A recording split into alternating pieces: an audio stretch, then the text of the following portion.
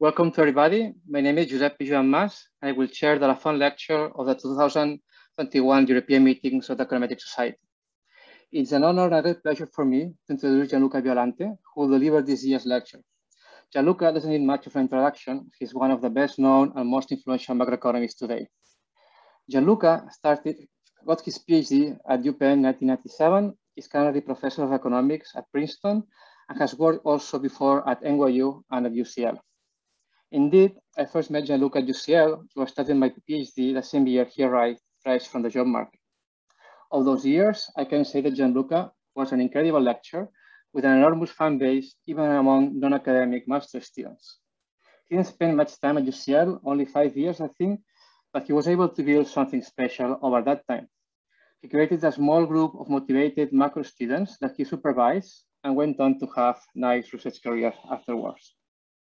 Gianluca research has touched on many different topics. He's best known for his contributions to macro labor literature and heterogeneous agents economies. He has addressed questions like the role of technical progress on wage inequality, the effect of idiosyncratic shocks on consumption, savings, and welfare, the role of such frictions on inequality, or the optimal design of taxes and employment benefits.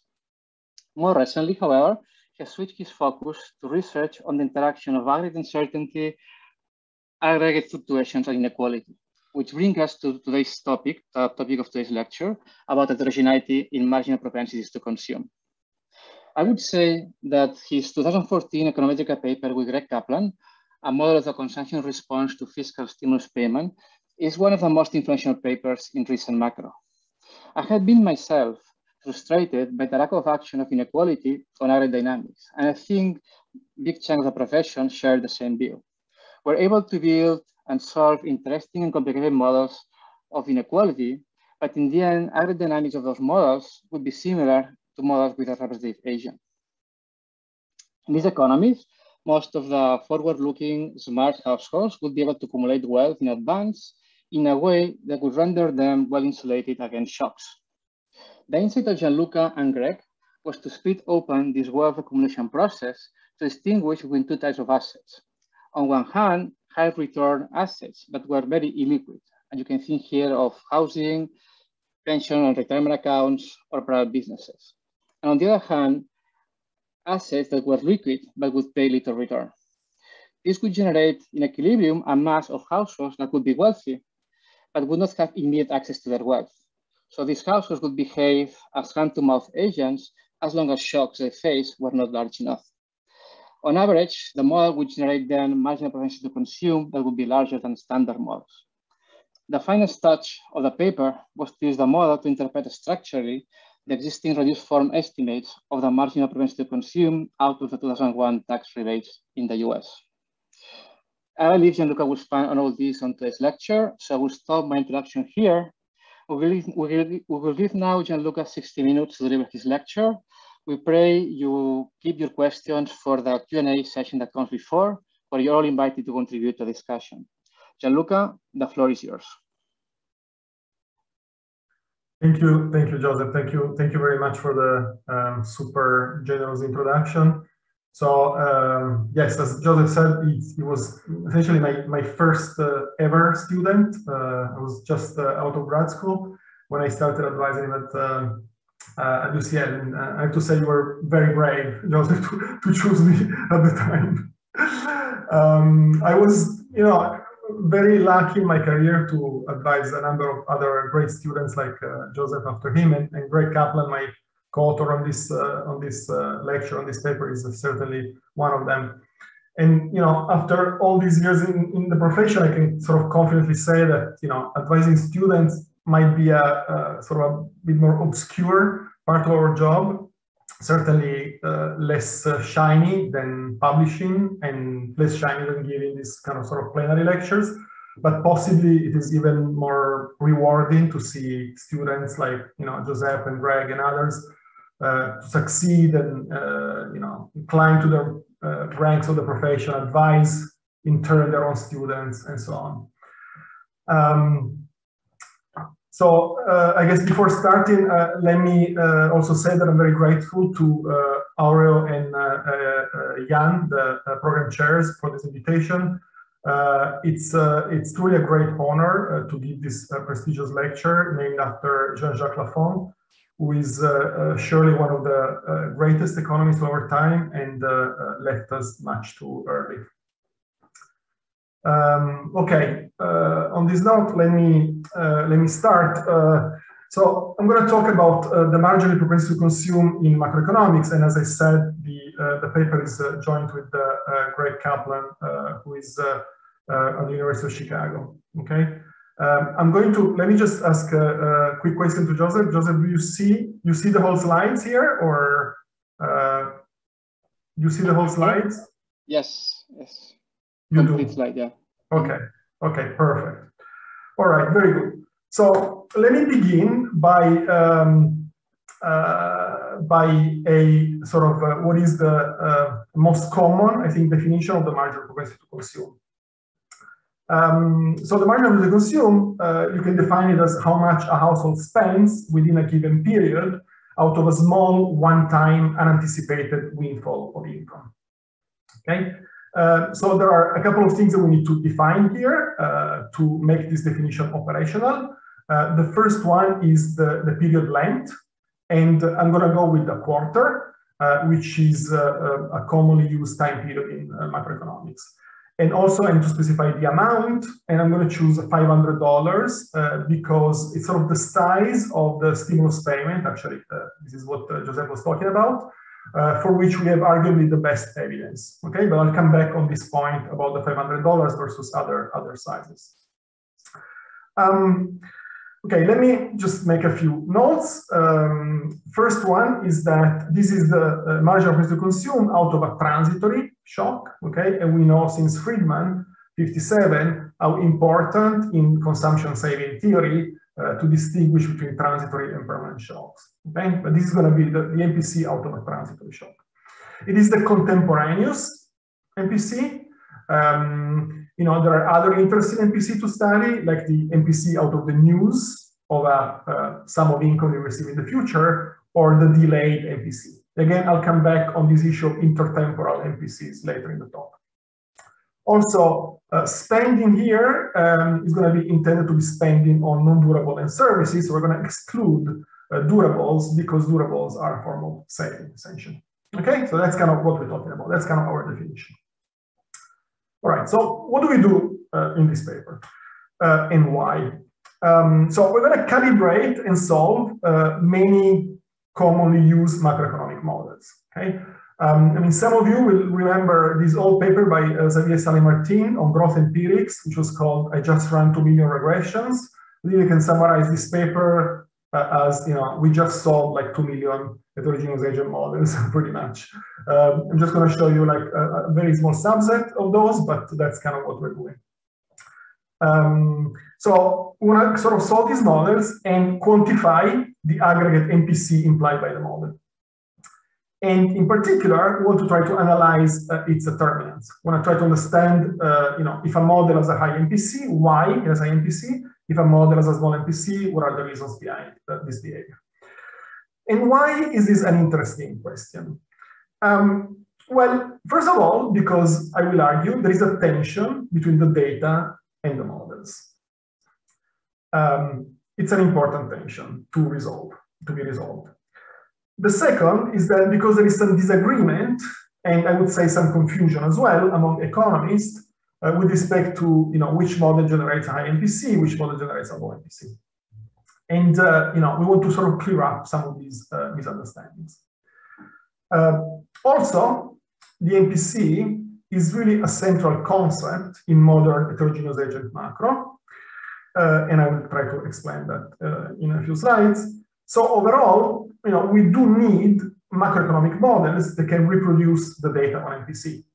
Uh, first of all, because it doesn't seem to be trivial, and second, because it's so important for uh, modern macro to uh, have models that reproduce uh, uh, the MPC. Okay, so I'm going to talk about now the, the, this tension between data and models, and then uh, why this is an important concept in, in heterogeneous agent macro.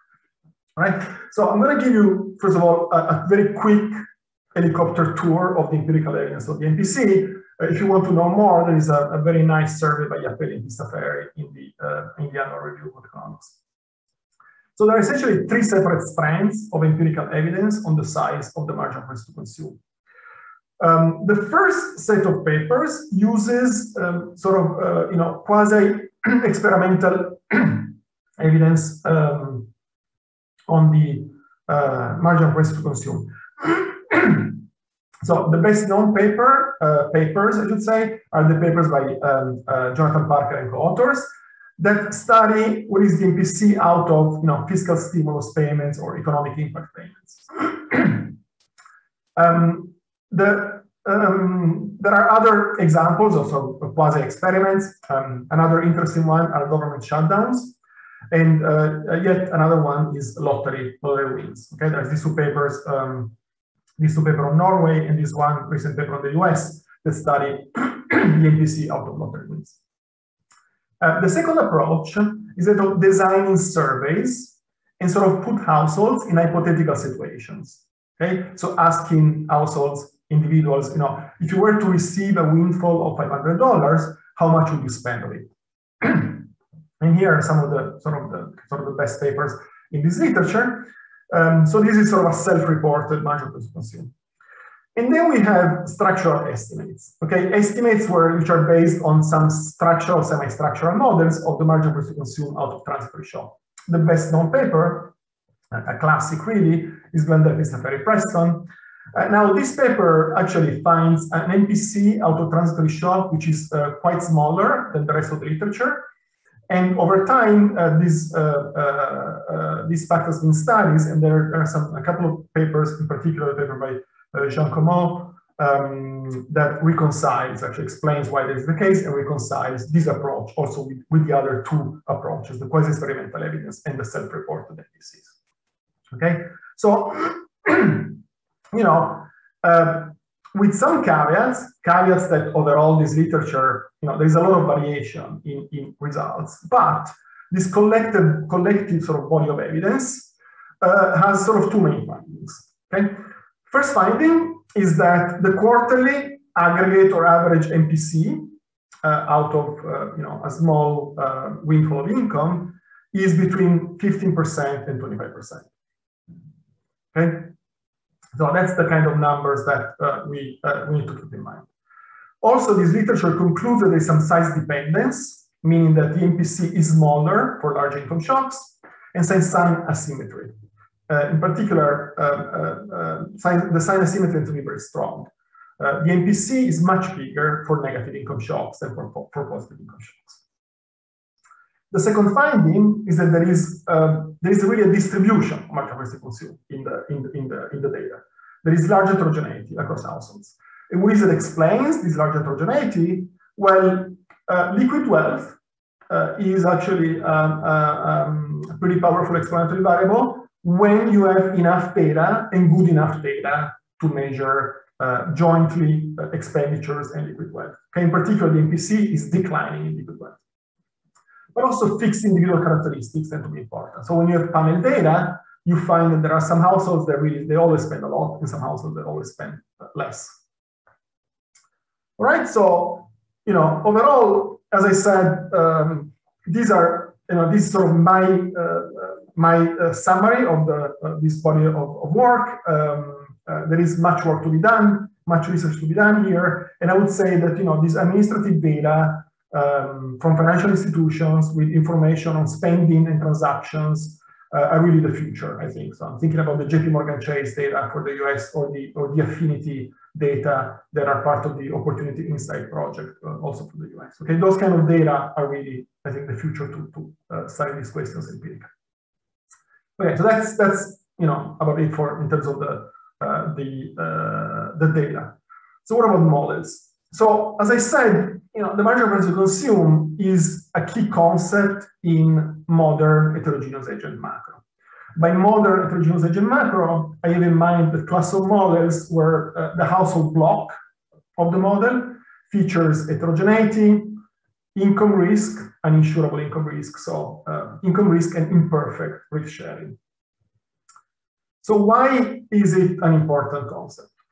Well, the first reason is that the MPC out of a transitory shock clearly indicates the degree of consumption insurance in the economy or lack thereof. Okay, in a complete market model, in the simple standard complete market model, that would be zero. Um, now, you take these models and you add nominal rigidities, right? And you enter the world of, uh, of heterogeneous agents, New Keynesian model, the world of HANK. And here, uh, the size of the aggregate MPC really determines, not surprisingly, the size of the Keynesian general equilibrium multiplier. Okay? And in some of these models, I will argue, the MPC can be quite large, much larger than the representative agent model. And so the, the, this Keynesian multiplier is also much larger. And this has important implications for macro, uh, because um, it means that the transmission mechanism of shocks, of fiscal and monetary policy in particular, uh, has to be revisited. And there is a big literature that sort of revisits the transmission mechanism of, uh, of uh, fiscal and monetary policy, very recent, but it's kind of growing, and finds precisely that these sort of indirect general equilibrium effects are much, much more prominent than the direct uh, effects, uh, direct partial equilibrium effects. Okay, so it's, it's an observation, the fact that the MPC is large, that has implication for the transmission mechanism of fiscal and monetary policy. Um, we said that in the data, uh, there is a, a, large variation in marginal price to consume, and also in the, these models feature a distribution of MPC. And this, this distribution of MPC is actually quite important. It's important because it determines the macro responsiveness of the economy, essentially, to aggregate shocks. Okay, and here, the key moment in the model is the covariance across households in the cross-section between the marginal propensity to consume and the change in income, which is uh, generated by the shock or the, uh, the policy, okay? Every shock or every policy in these models has, tends to, have sort of an equal incidence across the population. So what is important is to, to measure this covariance between the MPC and the, uh, the change in income across the population induced by the shock because that's a key source of amplification or dampening of the shock. In particular, this covariance is, is very high, it's going to tend to amplify the macroeconomic shock. All right, so here's where basically the MPC become, uh, the MPC, the whole distribution of MPC becomes really important in this class of models. Very good. Okay, so taking stock in terms of what I said so far. In the data, the MPC is sort of large and heterogeneous. These two observations have important implication for modern macro. But that's the key question that I'm going to address in the rest of the presentation. Can common macro models generate a large MPC and how? All right. So let me start from the um, sort of the what I would call the uh, uh, you know most basic you know uh, version of, uh, of uh, type of model I can think of, which is a model without idiosyncratic risk and without any borrowing constraint, right? So the household problem is uh, just written here as follows. This is a household that maximizes discounted utility, discounted discount factor is beta, utility is simple, CRRA with curvature parameter gamma. The household uh, chooses consumption and saving, C and the household can save in uh, only one asset, which is a non-state contingent uh, bond, okay, which, which with rate of return R. But there is no idiosyncratic risk and there are no borrowing constraints. So the solution to this problem is straightforward. Of you can get it by pencil and paper. The consumption function is linear here, which means obviously that the wealth distribution is irrelevant for the aggregate marginal price to consume to compute the average MPC because the MPC is constant for everyone. In particular, this is basically how consumption looks like, where M and CE, CE is for certainty equivalent. Uh, the marginal price to consume as this expression, this simple expression here. Now, uh, you look at this expression, you realize that you set gamma equal one, log utility, then the marginal price to consume becomes basically one minus beta, which is approximately the discount rate in this economy. Okay, so we don't say a plausible quarterly calibration of this model, where you know the, the, the annual discount rate is around two percent. uh, and quarterly discount rate is 0.5%, you get a marginal propensity to consume of 0.5%. Right? This is about 30, 40 times smaller than our target MPC. And you know, this result also explains why you know representative agent macro, basically the entire representative agent macro, features a very, very tiny MPC because that's, you know, uh, uh, these are cluster models that have no idiosyncratic risk, no borrowing constraint whatsoever, where essentially the, the, the, um, the uh, consumption function is basically linear in wealth. All right, so our first main takeaway of today's lecture. Um, can macro models generate a high MPC? Well, the representative agent model, the answer is a resounding no. Uh, and that's the reason why you know rank models have a very negligible general equilibrium uh, propagation. All right, so let's move on. Let's move on to the what I call the canonical one asset heterogeneous agent model. Um, so here, uh, the, the key uh, um, sort of element of the economy becomes what is called in the literature, you know, sort of uh, uh, Sargent, Ljungqvist and Sargent their textbook called the income fluctuation problem. This is basically the same problem as before uh, with two differences. The first difference is that uh, there is an expectation here, and there is an expectation because we have idiosyncratic income risk, uninsurable income risk. This YT is stochastic. It follows some stochastic process, okay? But it's uninsurable, meaning that there are no state contingent assets in this economy. There is still the same one period non-state contingent asset with rate of return R, but now we're adding a no borrowing constraint.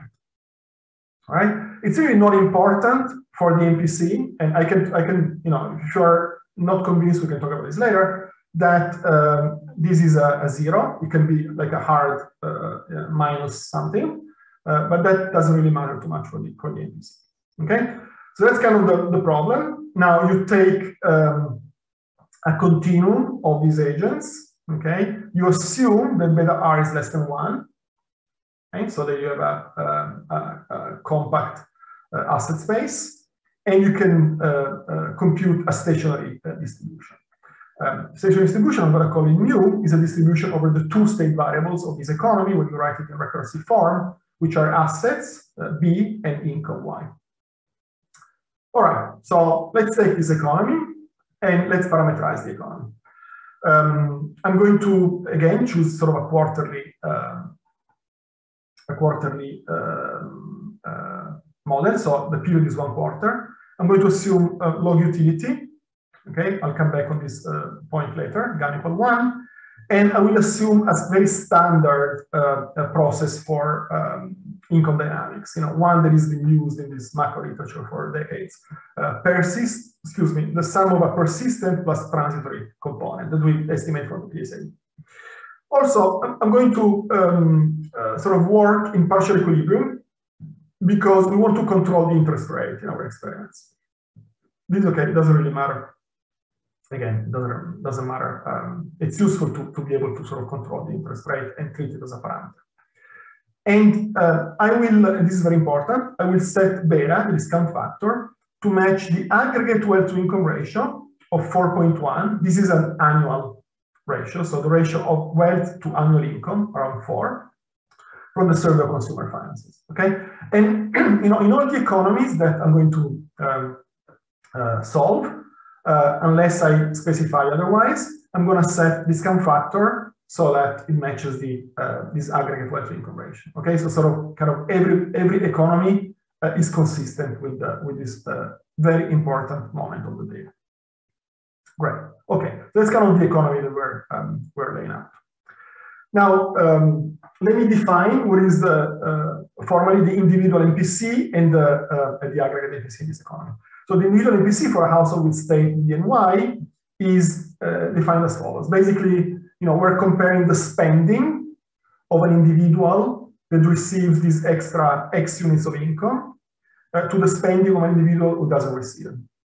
right? So when x is very small, this becomes the partial derivative of the consumption uh, policy function with respect to wealth. So that's individual MPC. How do we go from the individual MPC to the aggregate MPC? Well, you take the MPC function, you integrate it under the stationary distribution, and you get the aggregate MPC M bar. And you can see from this um, expression here that there are two key determinants of the aggregate MPC. Okay, and I'll come back, you know, over and over on this point. The consumption function, the shape of the consumption function, which determines the shape of the MPC function here, and the wealth distribution here. Okay, or the shape of the wealth distribution. All right, so uh, in light of you know this observation, uh, we can now better understand what determines the aggregate MPC in the canonical one asset model. First of all, the shape of the consumption function, okay, and, and why and why you know this differs from the kind of representative agent model uh, or the certainty equivalence model. Um, the first is the shape of the consumption function, and you know as explained very clearly uh, by uh, Chris Carroll in a number of papers, in particular this one, which is the Journal of Economic Perspective 2001, that I really encourage you to read if you don't know, because it's, it's, it's really it's a brilliant, super clear paper. Um, you know, the, the shape of the consumption function is uh, uh, uh, determined by, the, by one key feature of this model. This model has an insurable income risk. An insurable income risk leads to a precautionary saving motive. Okay? Precautionary saving motive is basically, you know, saving for the rain day, if you allow me. Uh, the precautionary saving motive is due to two uh, forces in this class of models. The first one is a feature of preferences, prudence, okay? positive third derivative. The second one is precisely the borrowing constraints. The fact that you know there are potentially binding borrowing constraints in this economy, and uh, households want to uh, sort of avoid hitting the borrowing constraint, so they save a little bit more in order to stay far away from the borrowing constraint. Uh, now, the strength of the precautionary saving motive is decreasing in wealth in this class of models. That's very intuitive, right? I mean, if you have a lot of wealth, you're very far from the borrowing constraint, then you're not really worried about saving a little bit extra uh, in order to uh, stay even further from the borrowing constraint. But if you are very close to the, to the, to the constraint, then you really don't want to hit it because hitting the borrowing constraint means basically that you know your consumption is at mercy of uh, income fluctuations and with, with potentially large welfare losses. Um, and so uh, for low levels of wealth, the precautionary setting is strong. For high levels of wealth, is is uh, is uh, uh, is small. And this implies that the consumption function is concave.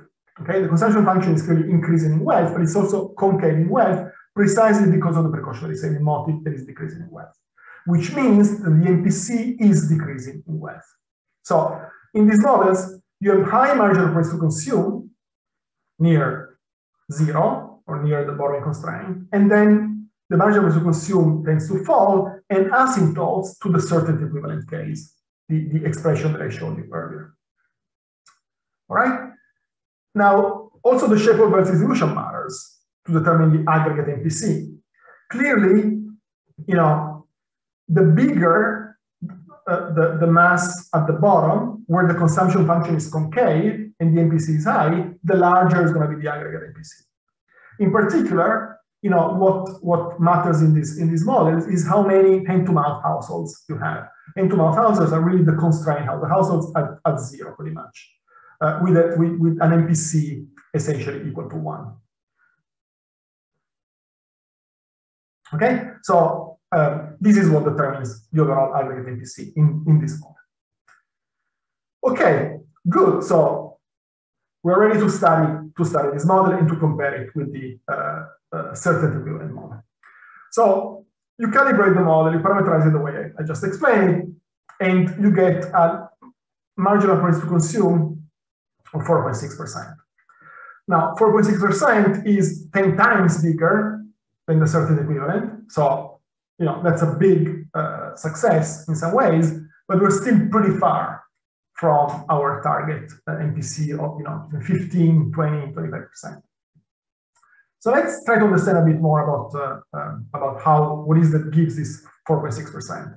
So here, I'm, I'm doing, I'm reporting the results of the composition. You can do the composition within the model where you split basically uh, the gap between the two models here, uh, the 4.6% minus 0.5%, 4.1, uh, among the role of uh, prudence, the borrowing constraint, and the presence of hand-to-mouth.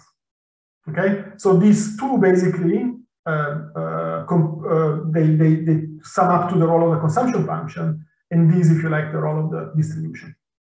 So what you see is that actually the main reason why um, this uh, model has a high to consume is the presence of the borrowing constraint, the presence of these occasionally binding borrowing constraints that induce um, uh, this sort of precautionary saving motive. Um, okay, good. So um, in this plot, um, in this graph, I'm plotting uh, the MPC function, which is the black line here, together with the wealth distribution. Okay, the sum of all these bars is one. So I'm basically I'm showing like how how the uh, distribution of wealth looks like in this model, with uh, this brown area being sort of the, the, the number of hand-to-mouth households in this economy. So basically, you know, what you see is that, you know, the MPC function uh, converges very, very quickly towards a certainty equivalent uh, MPC. Okay? So at levels of uh, uh, wealth around already like 0.4, 0.5 is basically already, you know, very, very small.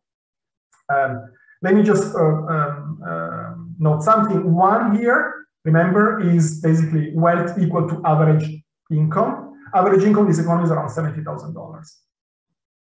Okay. So, you know, what you see here is that there is, that actually most of the households are in a range uh, where the MPC is basically flat and very, very low. Okay, that's why you get a relatively low MPC. So there are two issues in this economy. One is that there is a lot of wealth. There is a lot of wealth. And so because there's a lot of wealth, self-insurance works very, very well on average, and households have a, have a low MPC. The, household, the, the second problem, uh, problem, feature, should say, is that households uh, in this economy, they really want to escape the borrowing limit. Okay, there are really very few households at the borrowing limit. So households want to escape the borrowing limit because it's costly and they, they save in order to uh, uh, move far away from it. So um, overall, the MPC is very small. Um, let me just report some key statistics that I'm going to uh, discuss later. The first one is that you know mean wealth is uh, 4.1 as in the data. Median wealth is actually matched pretty well. Okay, this is important. I'll come back on this later. And, but the share of hand-to-mouth households is very small. The model has a hard time generating a lot of hand-to-mouth households because precisely this very strong force that households want to get away from the constraint. All right, good. So um, we said the first problem is there is a lot of wealth in this economy. So what if we target a lower level of aggregate wealth? So here, I'm going to compare the baseline model with two economies. One where we target a much lower level of wealth, like 0.5 of average wealth, okay? So um, 0.5 is about almost 10 times smaller than uh, the amount of wealth in the economy. And the second calibration is kind of very similar. We're targeting the share of hand-to-mouth households in the data, which is around 14%. Okay, so these are households that have net worth basically around zero or negative. Okay, in both cases, you see that the model can generate large MPCs, 14% and 22%. Okay, and you see from, um, okay, I, I, I, have to explain what, uh, uh, what panel A is. So in panel A, uh, we do again a, decomposition in which we compare um, the models that uh, um, I'm going to talk about with the baseline one asset model. And I basically split the gap in the MPC between uh, basically what is accounted for by the fact that the MPC function is different across the two models and the fact that the distribution is different across the, the wealth distribution is different across the two models right? So the role of the, of the, the, MPC function, the consumption function, the concavity basically, and the distribution. And then there is an interaction uh, term left. So you see that in both of these um, exercises, it's the distribution that plays the biggest role. But, I mean, almost, you know, by, by, by definition, these two economies have very, very uh, small wealth, 0.5 and 0.3 relative to 4.1. So how do they look like, these economies? Well, you see, basically, they can generate a large marginal propensity to consume because uh, you know wealth is essentially shifted uh, to the bottom of the distribution. Okay, so basically here we have almost 70% of households uh, because average wealth is uh, is very very small in, in these economies. So you know you can you can say well success because we can get an average MPC of you know 14, 20%. But these economies have a big problem. The problem is that they miss almost 90% of total wealth in the economy, right? And uh, you know this is a it's a serious problem for macroeconomics because uh, basically you cannot analyze production economies uh, with capital with capital. Um, so it's really almost impossible, you know, to investigate questions, say, about housing or investment or uh, asset pricing. Um, so uh, it's a sort of a model of limited interest, uh, if you like, um, where a number of questions cannot really be investigated. So, so we said uh, the canonical problem has two problems. Uh, the canonical model has two problems. One is uh, too much wealth, too much in quote, and the other problem is that you have these households that sort of want to escape the borrowing constraint. So let's focus on the second problem. Um, before doing that, uh, let me just get the, sort of the second uh, uh, takeaway of, uh, of the lecture, which is the canonical one asset model um, can only generate um, high MPC by neglecting 90% of total wealth. So, you know, how to entice households basically to stick around the borrowing limit uh, and to solve uh, the second problem of the canonical model? Well, the simplest way really is to add ex ante heterogeneity. Um, you can add heterogeneity in uh, discount factors, rates of return, uh, or in the intertemporal substitution. Okay, these are all parameters, I don't know if you remember, but they really were, they entered the formula for the MPC um, uh, for the for the certainty equivalent case. Okay, so it's kind of intuitive that they're going to sort of remember that the MPC for the certain case is where the, the MPC asymptotes. So if you can push that up, then the whole MPC function is going to sort of shift upward, and that gives you a better chance of uh, generating a high MPC.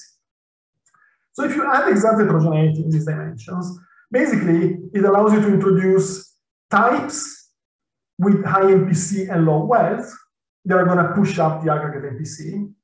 But at the same time, in this economy, you're going to have other types that hold most of the aggregate wealth in the economy. Okay, so you're not going to have the problem that these models generate uh, a low aggregate wealth. Uh, uh. All right. So, you know, in some way, one way to put it is you need to sort of two stones to kill two birds.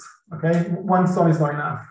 Um, so you need basically, you know, a type that uh, uh, that that sort of uh, hangs around near the borrowing constraint as high MPC, and a type that holds a lot of the wealth.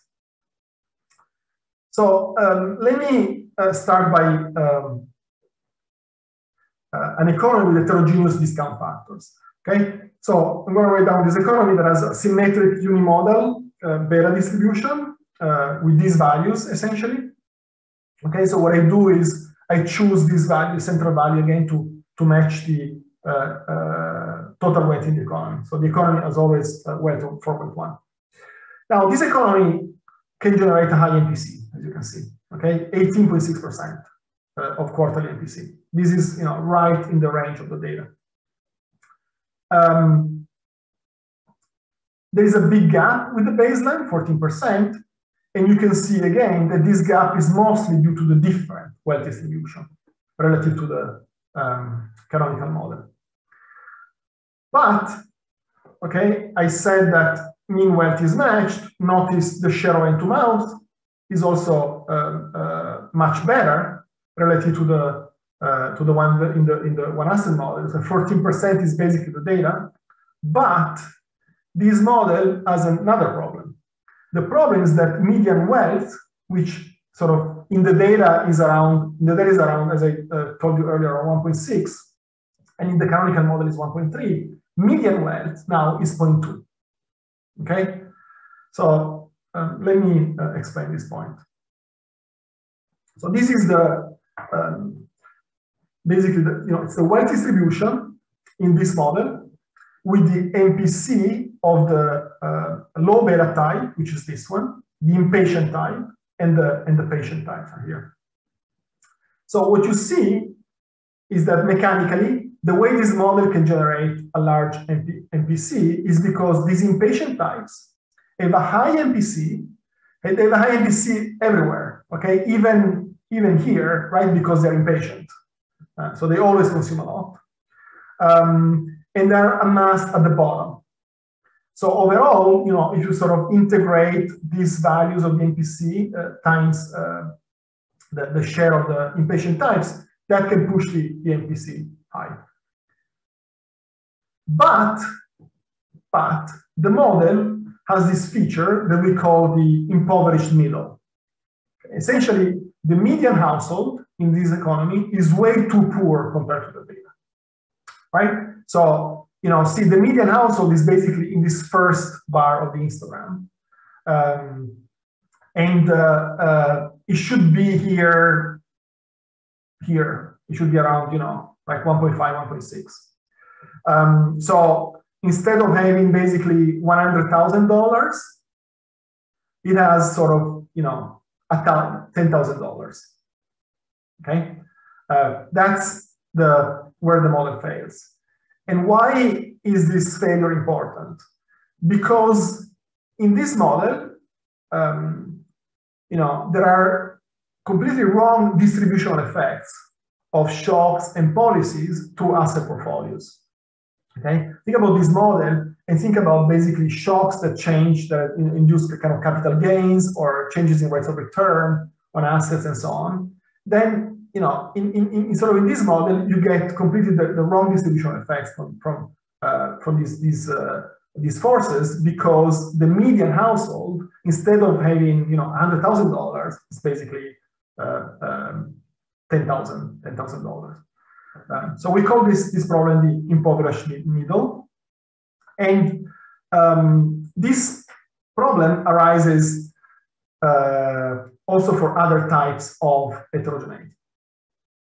Um, let me talk briefly about the uh, heterogeneous uh, IES case, right? So instead of introducing heterogeneity in uh, um, discount factors, now let's generalize preferences. We go from CRRA to Epstein-Zinn, which allows us to control separately CRRA and IES. And okay, the first conclusion, which I'm just going to state very briefly, is that heterogeneous risk aversion has basically no impact on the aggregate MPC. Okay. Heterogeneous risk aversion is really interesting and important. Uh, for example, a nice paper by uh, my colleague uh, Moritz Lenel and Rohan Kekre uh, to understand the, the, effect of asset prices in these sort of HANK economies. But it really has no impact whatsoever on the distribution of MPCs. What matters is the distribution of the intertemporal zero substitutions instead. You can see this from Epstein-Zinn when you split risk aversion on IES. Okay, so now let's look at an economy that has an IES uh, distribution like this. Okay, so a central point of one, then some very, very elastic people, IES of 20, and some very, very inelastic people. this economy has very similar properties to the heterogeneous beta that I just showed you. A high MPC, and unfortunately, also this economy has a very, very small amount of median wealth. Okay, so, you know, the plot for the MPC functions and the, the wealth uh, distribution looks again very similar. So you have these uh, high IES people, very elastic people with high MPC, which are masked at the bottom. They're actually have high MPC uh, throughout the distribution. But uh, you know what, what's happening basically is that um, the, the high uh, IES people are pushed towards the, the bottom of the uh, wealth distribution, and they overall, on average, hold very, very small amounts of wealth because they just don't want to save, they just want to consume right away, which leads again to this impoverished middle uh, problem. The median household is way too poor compared to the data. All right, and this takes us to the uh, main takeaway number three, which is that uh, models with uh, this moderate, I call it ex-ante heterogeneity, uh, they feature this problem. But you may ask, is there really no form of heterogeneity, ex-ante heterogeneity whatsoever that works? Well, clearly the answer is no. There is some that works. And let me, you know, very intuitively give you one case uh, that works you know, you really need to go towards for uh, to kill basically this impoverished middle problem. You need to go to an extreme form of preference heterogeneity. Um, basically, you need to go to so-called spender-saver models. Okay, so write down a model where you have 14% of households, which are the hand-to-mouth households in the data in terms of net worth, which are very impatient. They have very low beta, beta close to zero. And the rest, 85%, 86%, they have a discount factor that is calibrated as usual to match the aggregate wealth to income ratio in the economy, around 4.1. Okay? Now, the spender saver model gives you a pretty high MPC. 16, 17%. Why? Well, because you have this 14%, basically where MPC essentially one, that already uh, you know give push, pushes the average MPC to 14%. And then you have the rest, 85% uh, that uh, that have a, a, kind of a low a low MPC, and you get to about 70%. Um, now, this model has the right amount of wealth and has the right amount of median wealth as well. That's not surprising here, right? Because really, you have these 86% of households that behave like in the canonical model. And the canonical, it's a lot of households. And the canonical model essentially was giving you the right median wealth. Okay, so you have the right MPC, the right median wealth, um, you know, and uh, that's kind of how the, the distribution looks like. You see that uh, uh, the distribution looks actually quite similar to the to the one asset uh, the one asset model. Now, you may say again, well, that's great news. That's kind of success.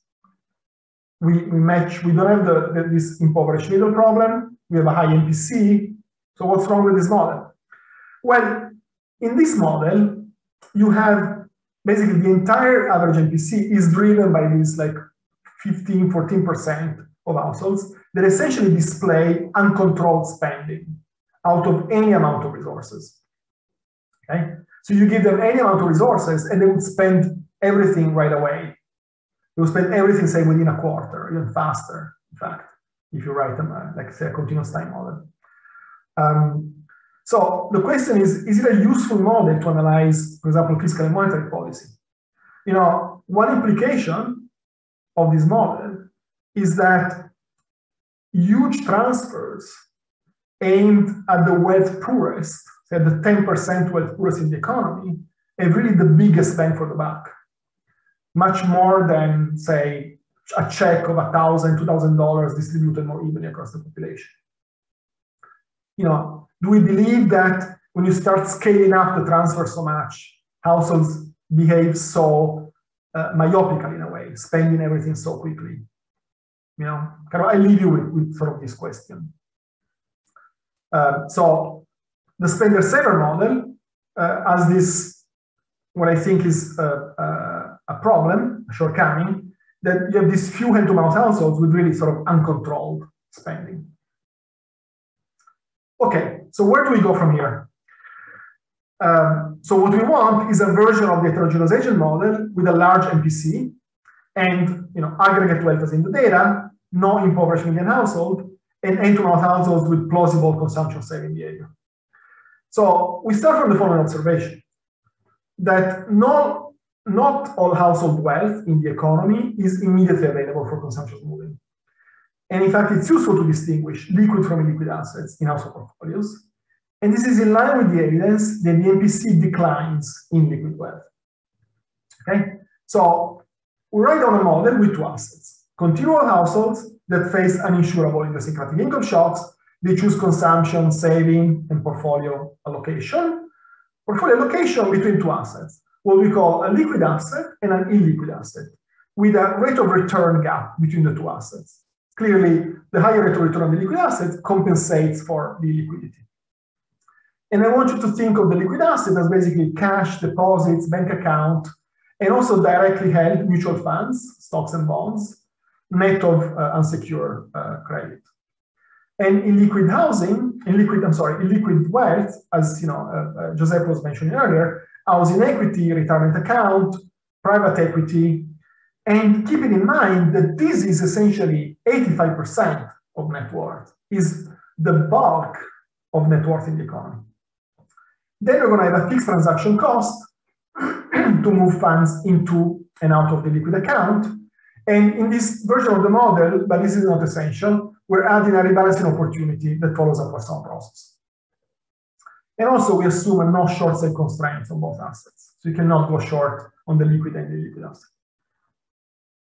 All right, so in this economy, uh, the wealthy and dual households emerge endogenously. So there are three types of households populate the model. The unconstrained, the poor hand-to-mouth households, which are the ones that basically hold zero net worth, which are about 14%, the one I was talking about earlier. But then you have this additional type, the wealthy hand-to-mouth, that have approximately zero liquid wealth, okay, but can have like substantial holdings of illiquid wealth. And those are about 25% uh, in, the, in the US economy. So you may wonder why the wealthy hand-to-mouth? Why holding zero liquidity and some illiquid wealth at the same time? Well, turns out that there is a trade-off in holding illiquid wealth between the higher return on the asset and the illiquidity, precisely. You know, there is basically a trade-off between the long-run gain that stems from the higher level of consumption that the higher rate of return guarantees, and the short-run cost which is basically the fact that because most of your wealth is tied up in an illiquid asset, you have worse consumption smoothing opportunities. So it's a trade-off between these two forces. If gains exceed the cost, as actually it turns out to be in most of our calibrations, then you have this a lot of you know substantial amount of wealthy hand to mouth emerging. The more the gains exceed the cost, the more wealthy hand to mouth households you have in the economy. All right, so uh, now take this model and run with it. So we're going to solve it in continuous time. Um, I'm going to set a couple of parameters exogenously. I'm going to set the liquid rate basically to zero nominal, so minus 2% real. And uh, I'm going to assume a rebalancing rate of four, which means basically every quarter, on average, households have the opportunity to rebalance. And then I am going to choose the discount factor, the illiquid rate, and the transaction cost to match mean wealth, the total amount of hand-to-mouth in the economy, and the wealthy hand-to-mouth the share of wealthy hand-to-mouth. Okay, the model wants a pretty moderate transaction cost, $700, and a rate, an annual annualized rate of return on the liquid assets around 5%. So kind of reasonable parameter values. Okay, so this version of the model gives you an MPC of 14%.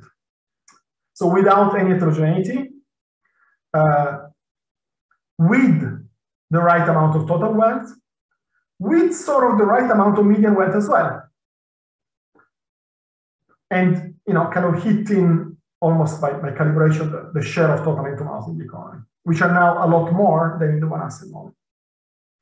Now, notice that uh, if you compute the, the gap, what is it accounts for, what is it explains the gap between the two asset MPC and the one asset MPC, it's um, the distribution obviously always kind of plays a role, but here the MPC function is actually uh, particularly important. Okay, and I want to explain it in a second. Okay, so here, here's the, the, the plot of the MPC function and the, the wealth distribution in the asset model against now liquid wealth. Okay, against liquid wealth.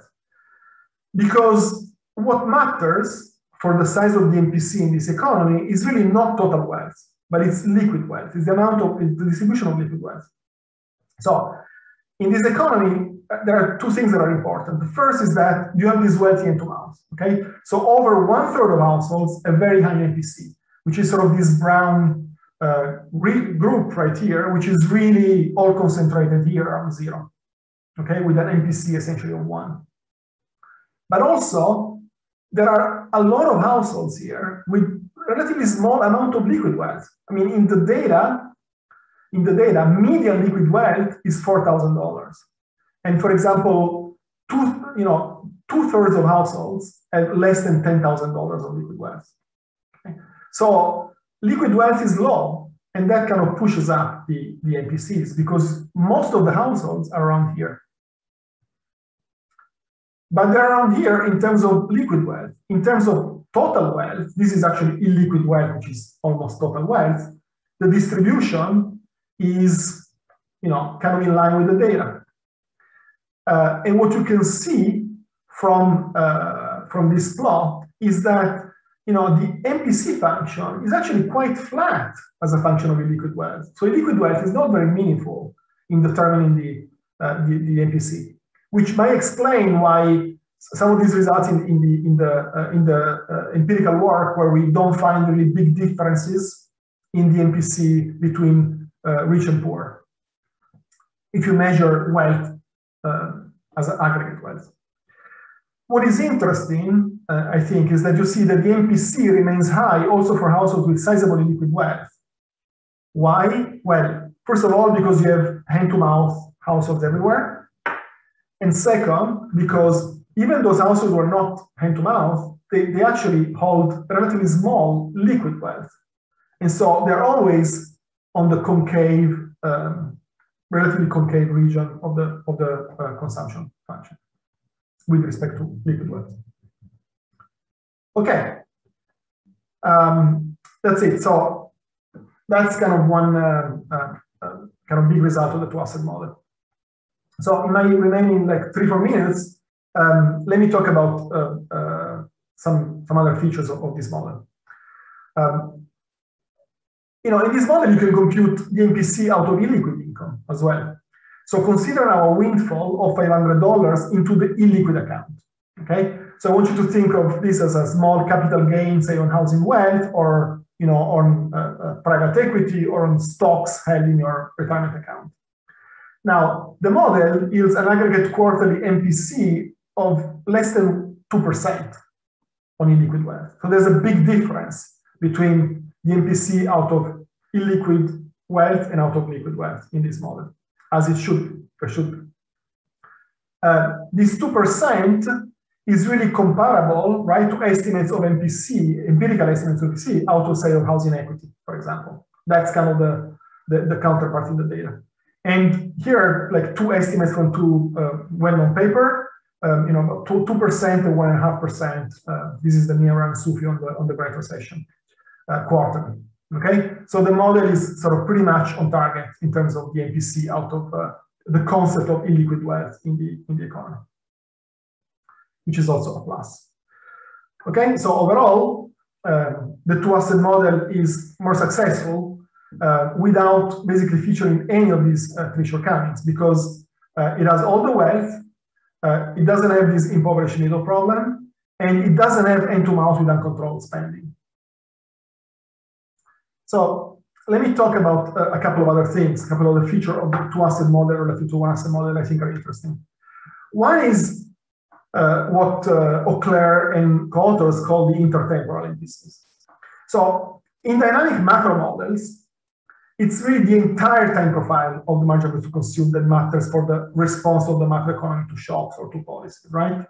Um, we talked about the contemporaneous MPC only, but you know, uh, in this economy, these macroeconomies in general equilibrium, when a shock hits, you know, you're interested in the anticipated response if there are some news about the shock beforehand, and in the in the whole uh, impulse response function. Here, what I'm, uh, uh, I'm plotting, I'm plotting the one asset, the, the entire path of MPCs, basically intertemporal MPCs, uh, in the one asset model, in the spender saver model, which is the red line, and in the two asset model, which is the, the, the yellow line. So compare first the spender saver with the blue line, the one asset model. Okay, the spender saver has this intuitively, this very you know sharp cusp, um, cusp shaped intertemporal MPCs. Basically, it gets it gets you only a strong response at impact because it's only the, the really the same the spenders that spend a lot at impact. But then there's really no propagation whatsoever. The two asset model gives you actually a lot more shock propagation, um, both in terms of you know anticipation effects and in terms of like delayed response with respect to the uh, the, the, the, spender saver, and clearly with respect to the canonical model, it is basically flat um, everywhere. I also mentioned in the beginning the size and sign asymmetries in the marginal price to consume, uh, the empirical evidence, right? So here, I want to tell you briefly about what are the features of, of all these models in terms of like size and sign asymmetries. Uh, so here in this row, you have the contemporaneous to $400 that I mentioned. Here you have the MPC out of minus $500, so a negative amount, and here $5,000. So this is sign asymmetry, and this is size asymmetry. So, you know, I leave you a second to uh, look at this table. You have the one asset model here, the low weight calibration. Here's the model with heterogeneity in uh, uh, elasticity substitution, spender saver, and two asset model all the model display the correct size and sign dependence because of concavity, because of the concavity of the uh, consumption function, right? So you go negative, the MPC is higher, you go bigger, the MPC is smaller. But what is interesting is that the sign dependence is much, much stronger in the asset model than in all the other models. And this is actually very much in line with all the empirical evidence at least the self-reported MPC from surveys, they all display very sharp sign asymmetry. So the two-asset model gives you also this additional feature. Okay, that's it. The, the journey is pretty much over. Um, so uh, we started from the following question. Can macro models generate a high MPC and how? And you know, uh, through this talk, I went through this sort of many, many models that we solved. Uh, uh, we did sort of this systematic investigation where uh, what is useful, I think, I hope, is that the model comparison is sort of harmonized. So the models are all comparable to each other. We concluded that you know the representative agent model is really a non-starter. One asset models, in all the variation, they struggle a little. And the two asset model is a better benchmark, we think, to build further. And build how? Well, the, the sort of three next steps on our agenda are investigating models, two asset models with ex-ante heterogeneity along the lines, for example, of the RBs and model with present bias along the lines of this uh, recent paper by my co-author Ben Moll, and uh, adding temptation and self-control also. So kind of adding, you know, these behavioral biases that uh, I'm, happy to talk about it in the Q&A later. We think uh, they might help actually um, in, in, in various respects. And thank you very much for listening. Very good. Thanks a lot, Gianluca, for a great talk. So now we open up the Q&A session. So I think the most operative thing is like people raise their hands and, Gianluca will, will like lead the discussion.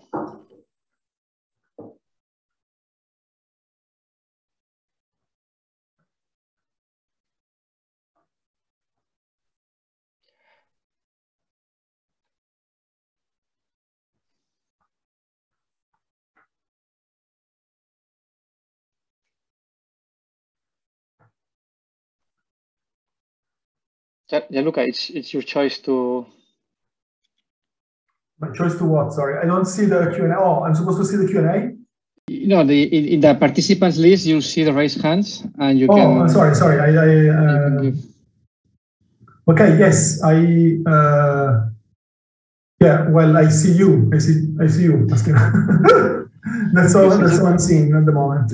Just a short question. Uh, uh among the model failures you're, you're documenting or the, the, the, the, benchmark model you're using, it's very it's very clearly absent the life cycle model. So number of people with zero wealth varies a lot by age, both in the models and in the data, and I suppose there's responsive consumption to check also. What do you have to say about the MPCs, representation of MPCs with life cycle models? Okay, so one thing that I, I should have mentioned is I, I, I, forgot when I described the model. We don't have a, a, a proper um, um, age as a, really as a state variable in the model, but we have um, kind of a Blanchard-Yaari, kind of a perpetual youth model.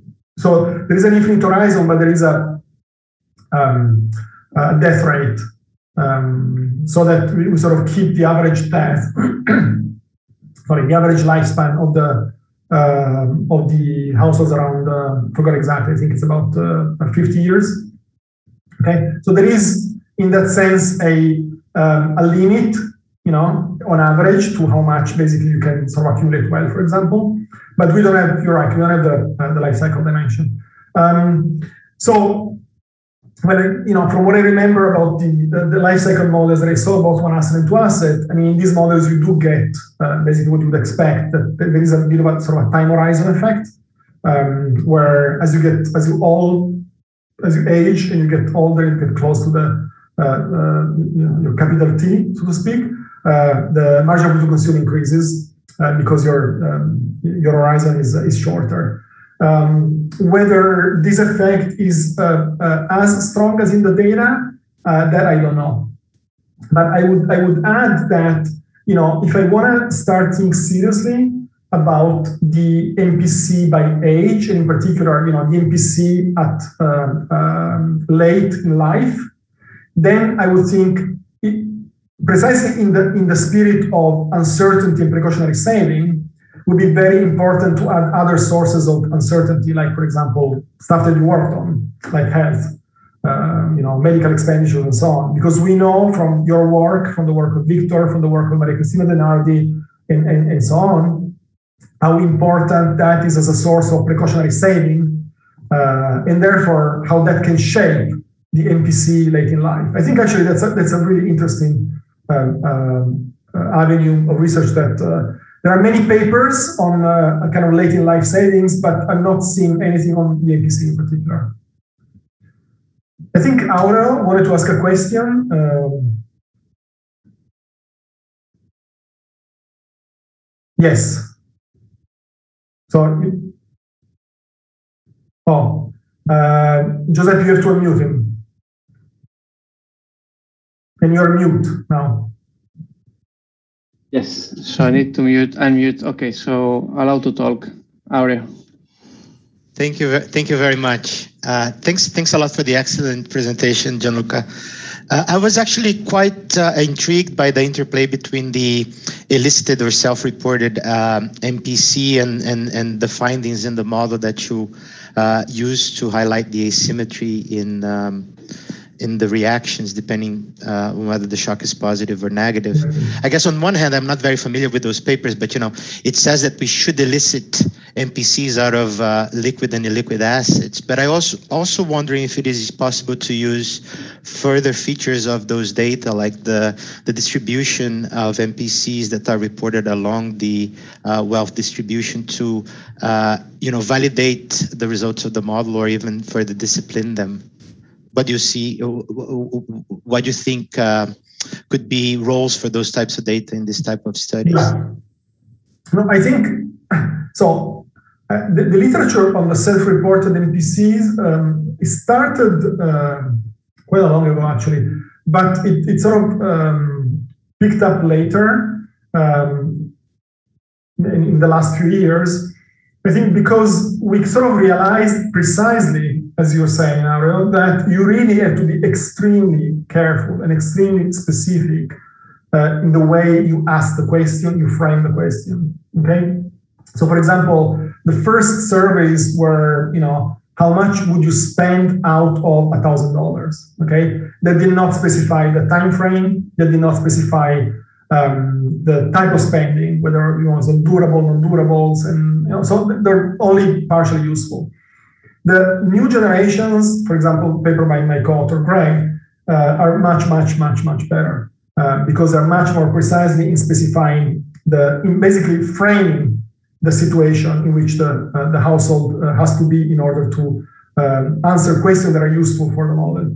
And, and as you, and I think there is it, it's you know I'm completely in agreement with you. It's it's, it's very exciting, um, and there is a lot of uh, I think additional refinement in the type of question that one can ask uh, in order to you know try to uh, compare the model with the data. And um, some of these some of these um, surveys they do ask questions about uh, liquid wealth, mm-hmm. liquid wealth, and they tend to find precisely this effect that um, uh, the MPC is declining in liquid wealth. For example, I remind a paper by um, uh, Luigi Pistaferri on Dutch uh, Dutch data that I one of the papers that I cited.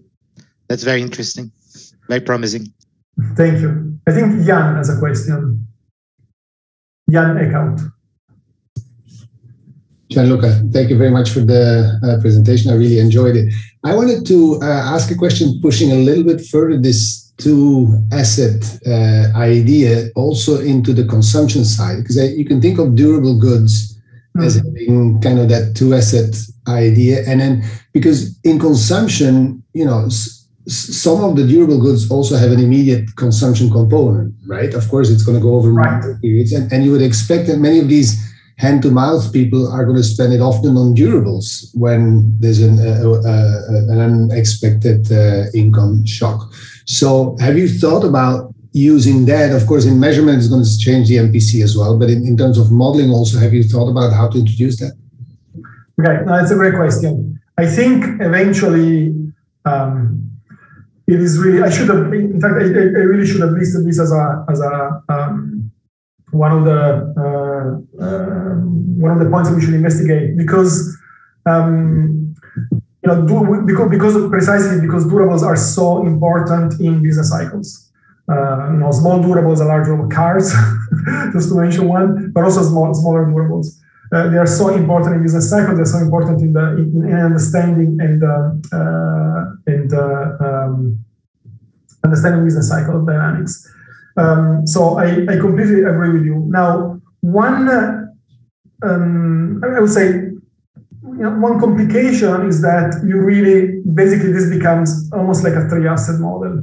Because it becomes a model where, you know, you have small durables, uh, they maybe have a very small transaction cost, um, and have another asset that is really a financial asset, say, uh, that has maybe larger transaction cost. Um, a compromise is actually what we did in, in one of the um, papers that I wrote with, uh, with Greg, um, where we uh, assigned uh, a, precisely as you were suggesting, a, consum- a, a, consumption flow to the stock of durables. So basically what we said is that, well, the, the sorry, the stock of liquid asset. We said, so think of this liquid asset more broadly, like for example, housing, but also like say cars and all durables, right? And, uh, and let's imagine that the, the stock of liquid assets has a direct consumption flows. So it gives you some utility. So one actually uh, um, advantage of thinking of the two asset model this way is that you can generate similar data, similar MPCs, similar wealth distributions, and so on with a smaller return financial return gap between the two assets. Okay, in, in this in this calibration, we have a, a gap that is almost seven percent. Okay, but if you have obviously a utility flow coming from the liquid asset, you can generate the same moments with a much much smaller return, which I think is sort of more desirable in a way, and it's you know it, it makes sense because a lot of these uh, assets, uh, liquid assets, housing, but also private equity, um, private businesses I think it's reasonable to think that they deliver some flow utility instantaneously, basically. Oh, great. Thanks. Thanks, Angelica.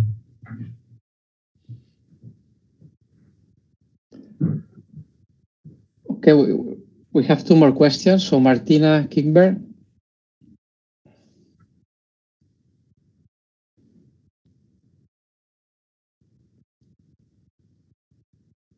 Maybe you have to unmute her. I am, she should be unmuted. Um, I think she's ready to talk. See what's going on here. Martin, I think you mute yourself and he is telling me that you should ask to unmute.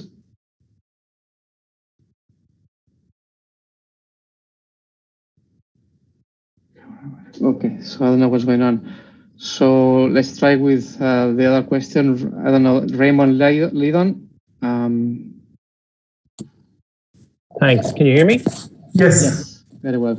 Hi, Gianluca. That was really uh, good. I learned a lot. Um, I wonder, does your work and some of the work you cited have much to say about how we think about spending from, call it pandemic savings or involuntary savings or forced savings so uh, I work in a central bank. It's a question I get asked every week by the forecasters.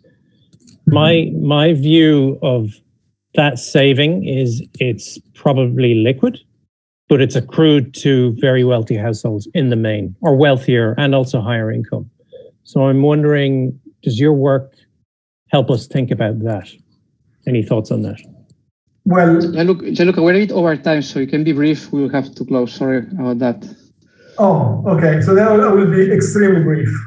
Um, I have a paper with uh, uh, Greg Kaplan and uh, Ben Moll and uh, um, uh, uh, Ziyu Fu, is a student at University of Chicago, that is called The Great Lockdown and the Big Stimulus, in which we um, sort of answer one of the questions we answer is exactly that question. So we have a model, with, it's a, a version of a two-asset model that generates precisely um, you know, um, pretty much in line with the data, the spending response to the uh, economic impact payments uh, that were delivered to households uh, during the pandemic.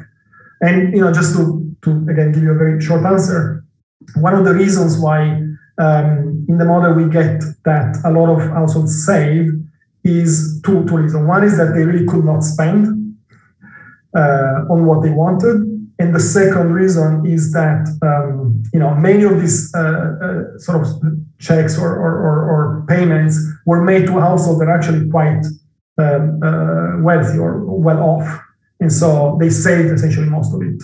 Yeah. Um, because they didn't, they didn't, they didn't need to spend it. Yeah. Okay. Thank you. Oh, thank okay. You. Okay. Very good. Thanks, everybody. We need to really need to stop this. Thanks, Gianluca, for the brilliant talk.